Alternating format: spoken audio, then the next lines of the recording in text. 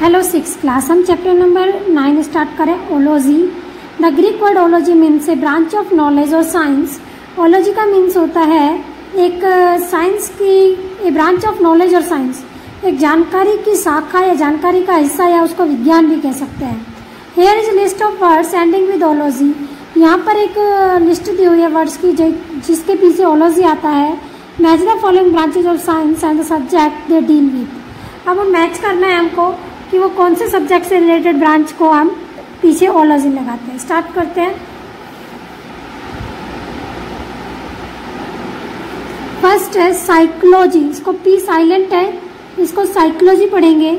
और साइकोलॉजी में आता है nature function and phenomena of the human kind इंसान के स्वभाव के बारे में, इंसान क्या काम करता है उसके बारे में और इंसान के दिमाग के बारे में रिलेटेड जब हम पढ़ते हैं तो उसको हम सोच के बारे में जब हम पढ़ते हैं तो उसको हम क्या बोलते हैं? साइकोलॉजी अब है एंटमोलॉजी एंटमोलॉजी जो है, वो कीड़ों से रिलेटेड होती है। कीड़ों की जिस साइंस का वो ब्रांच जिसमें हम कीड़ों के बारे में पढ़ते हैं इंसेक्ट के बारे में पढ़ते हैं, उसको हम एंटोमोलॉजी कहते हैं। थर्ड है इकोलॉजी इकोलॉजी में हम प्लांट्स एनिमल्स और दूसरे जितने भी हमारे चारों ओर चीज़ें हैं, चाहे वो सॉइल हो, चाहे वो सन हो, चाहे वो एयर हो, उन सब के बारे में हम पढ़ते हैं।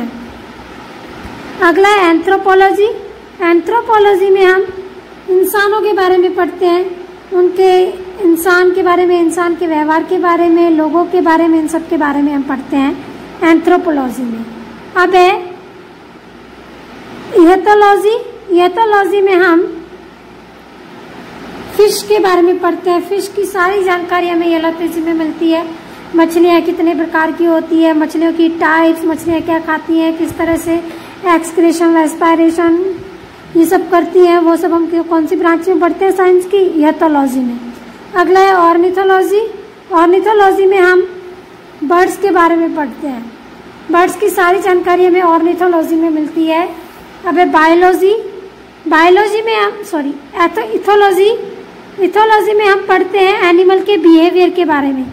जानवरों का बिहेवियर क्या है? जानवर किस चीज़ के अकॉर्डिंगली बिहेव करते हैं? उनको कब गुस्सा आता है? कब उनको बुरा लगता है? उनको भूख लगती है तो वो क्या करते हैं? सब हम इथोलॉजी ब्रांच में पढ़ते हैं। अब है बायोलॉजी बायोलॉजी में हम दोनों चीज़ें पढ़ते हैं। लिविंग थिंग्स में प्लांट्स के बारे में भी पढ़ते हैं और एनिमल्स के बारे में भी पढ़ते हैं। प्लांट्स और एनिमल्स के बारे में जो पूरी तरह बायोग्राफी जो होती है वो बायोलॉजी में मिलती है। अगला है जियोलॉजी। जियोलॉजी में हम अर्थ के बारे में पढ़ते हैं। हमारी अर्थ में क्या क्या है? अर्थ में कितनी लेयर है? अर्थ कहाँ पर रेगिस्तान है? कहाँ पर पानी ज़्यादा है? कहाँ पर बरसात हो रही है? कहाँ पर नहीं हो रही है? ये सब हम जियोलॉजी में पढ़ते हैं। अगला है मीटियोरोलॉजी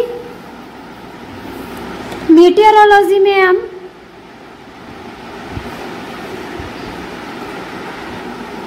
मीटियोरोलॉजी मीटियोरोलॉजी यानी कि जो हमें मौसम की जानकारी मिलती है कि कहाँ पर बारिश होगी, कहाँ पर नहीं होगी, आज मौसम सूरज निकलेगा या नहीं निकलेगा, ये सब हमें कौन देता है? मीटियर मौसम विज्ञान जो होता है वो इसमें आता है मीटियोरोलॉजिस्ट में।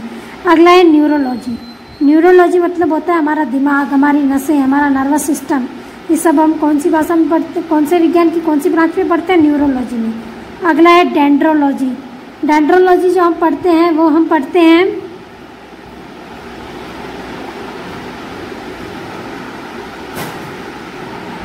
अगला है डेंड्रोलॉजी डेंड्रोलॉजी में सारे पेड़ों के बारे में पढ़ते हैं कि पेड़ के कितने टाइप्स होते हैं, पेड़ क्या करते हैं, पेड़ अपना फ़ूड कैसे बनाते हैं, कैसे रहते हैं, ये सब हम डेंड्रोलॉजी में पढ़ते हैं। लास्ट है आर्कियोलॉजी आर्कियोलॉजी में हम पढ़ते हैं एंशियंट कल्चर के बारे में।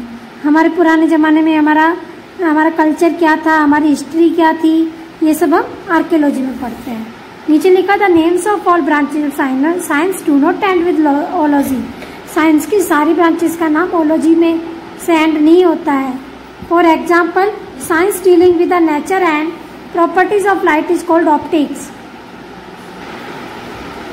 सारी ब्रांचेस का नाम ओलॉजी से खत्म नहीं होता। जैसे कि अगर हम लाइट की प्रॉपर्टी की बात करें तो जिस ब्रांच में हम लाइट की प्रॉपर्टी के बारे में पढ़ते हैं, उस ब्रांच को ऑप्टिक्स कहते हैं। दूसरी भी एग्ज़ाम्पल है मेलियोलॉजी फिजिक्स केमिस्ट्री ये कोई भी ओलॉजी पे ख़त्म नहीं होती हैं। ओलॉजी पे ओनली यही ब्रांचेस खत्म होती।